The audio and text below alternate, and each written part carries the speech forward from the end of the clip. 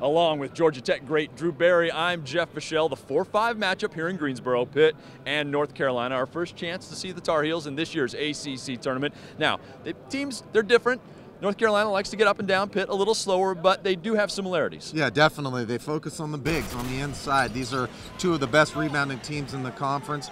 I look for the ones that wins the battle of the boards to take away this W. Now that's inside, outside. Marcus Paige has been phenomenal. Yeah, he's been terrific. I'd like to see him play in the first half how he's been playing in the second half in all right. these games. He's been on a tear in the second half. Let's see if he can start from tip and really carry himself. But he has been one of the best players in conference uh, over the last few weeks. Earlier in this season, Carolina beat Pitt in Chapel Hill by four. But I spoke to Jamie Dixon after the win over Wake Forest, and he says, you know what? That game, Talib Zanna, Lamar Patterson weren't healthy. He's feeling confident because those guys are now 100%. Yeah, they didn't play particularly well, especially statistically, especially Lamar Patterson. He struggled ball shooting, was 5 for 16 that game.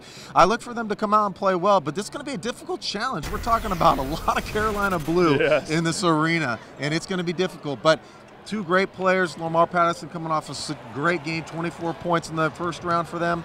I look for uh, the game to be a tight one. All right, like I said, it's the 4 5 matchup. Team that wins advances to the semifinals of the 2014 ACC Championship. He's Drew Barry. I'm Jeff Fischel. You're watching the ACC Digital Network brought to you by Ruby Tuesday.